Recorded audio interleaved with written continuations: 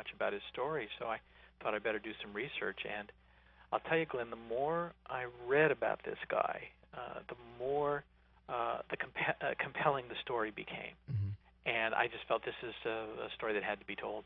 And so we we put together um, uh, financing for this. Uh, mostly it was uh, Lee Blackman, who's our executive producer, and he's the attorney for the Nilsson estate. So we this really is an indie film.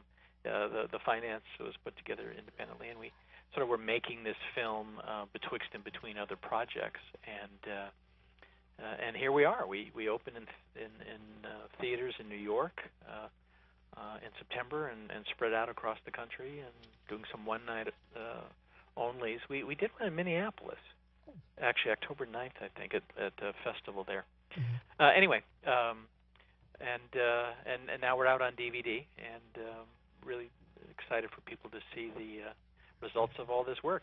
And the reviews have you you've gotten your, your fair share of some really positive press, and that is just that that is just excellent uh, because it, it really gets a chance to uh, get some people who aren't necessarily familiar with uh, Harry Nilsson initially to actually open up and, and listen to what a magnificent voice this guy had.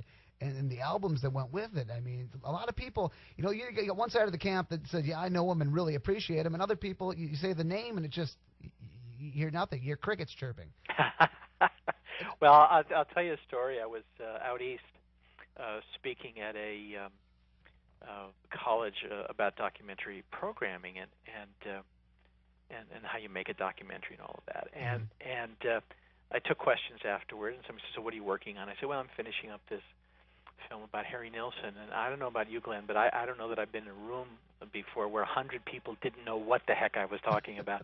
Name meant absolutely nothing to them. But but then as I started to mention all of the songs that he wrote or sang that he had hits with, people go, oh yeah, oh yeah, oh yeah, I know that one. And uh, so I would mention, you know, Everybody's Talking, which is the theme song from the great mm-hmm. film Midnight Cowboy, Excellent. and won a Grammy for that. I said, oh, I know that one. And I said he did this, this song called Me and My Arrow for a animated uh, uh, picture called The Point. He said, oh, I know that one. And he did this goofy little song that was a hit in the 70s, and then then uh, was in a Coca-Cola commercial in 2006 uh, called "Put the Lime into Coconut." Mm-hmm. Oh, he did that. I know that.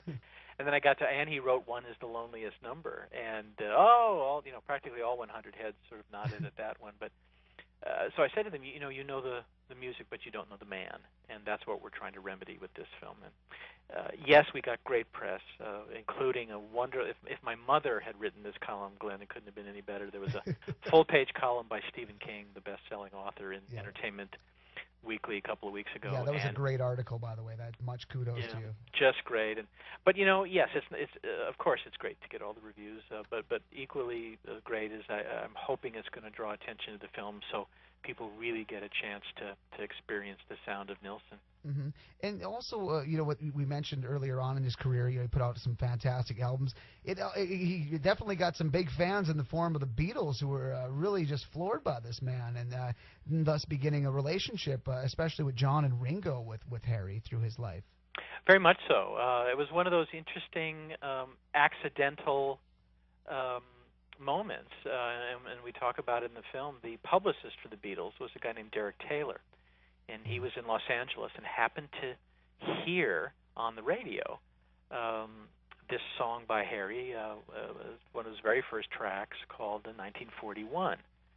And he was just he, he said, "This is great. I have to. Who did this?" And he tracked it down uh, the fact that it was Harry Nilsson, and he bought you know a whole box of albums, and he sent them to everybody he knew in England, uh, including the Beatles, um, uh, just to say you got to hear this guy.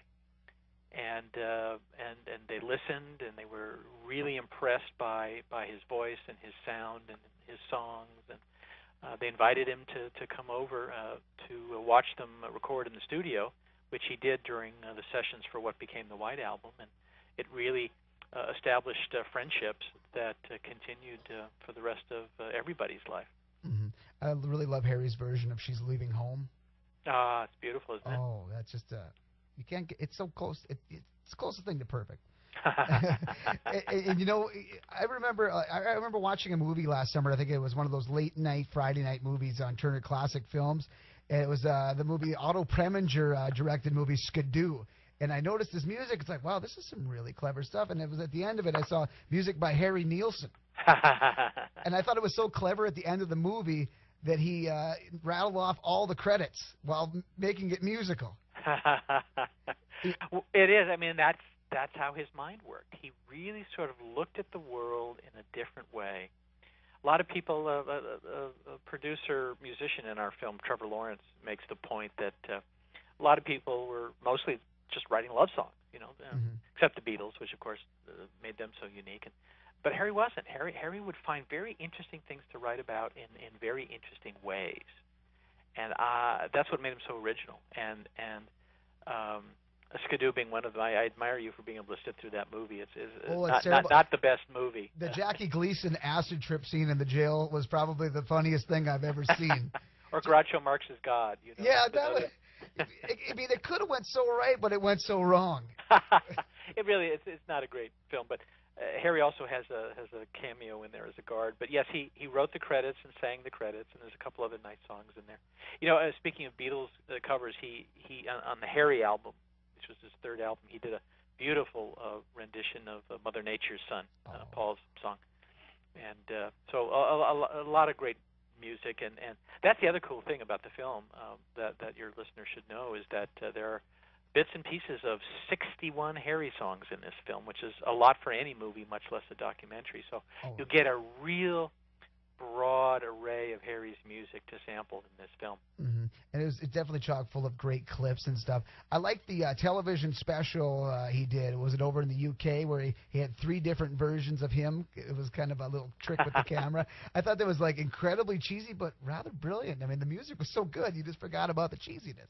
Yeah, well, you know, uh, from from our standpoint today, it's it's cheesy. Yeah. Uh, but it was kind of in the earlier days of videotape, and the idea of having three of the same person on screen. Not everybody did that, so it was kind of fresh at the time. But I think an interesting thing um, uh, to to note about Harry is uh, today um, when artists are out there, they're, they're touring, they're doing talk shows, they're doing everything to get themselves and their music out there, and uh, Harry made a decision early on in his career that he was not going to tour. He was not going to perform live. And in fact, in his entire career, he uh, he, he only performed uh, you know a couple of songs on stage here and there, but never did a concert. That's amazing. And that makes it really hard um, to build a career that way because people just aren't out there seeing you. And he also did precious few television appearances, uh, but but he did do two specials for the BBC. Mhm. The only way he would do them is is uh, uh, if there was not an audience there, because I think it was audiences really that made him nervous. Yeah. And uh, so he did these two specials, and we were able to to use a lot of clips from those and, and a couple of American TV shows that he did.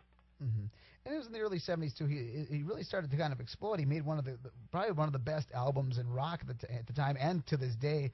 Nilsson Schmilsson. He kind of started hooking up with our producer Richard Perry. Now let's talk about this relationship.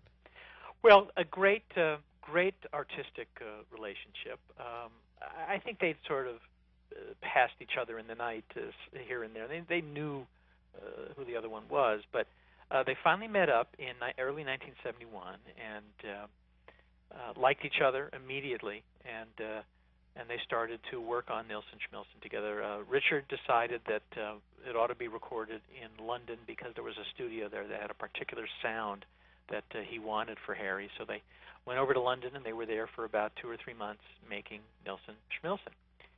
And um, uh, interesting, um, uh, a whole uh, wide array of experiences in the making of this album, and you'll see that in the film. We we detail them, and from from how they found the songs to the working relationship to who the um, supporting musicians were, uh, including Ringo and, and a young Peter Frampton hmm very young Peter Frampton. and um, uh, anyway, um, they, they, and of course the highlight was was Without You, which is one of the great power ballads of all Mhm. time, and uh, how they came across that song and and what Harry really thought about that song uh, are really quite fascinating. And we had a lot of uh, it's a lot of great music. You can play that album start to finish, and there's not a weak song on the whole thing hmm and it really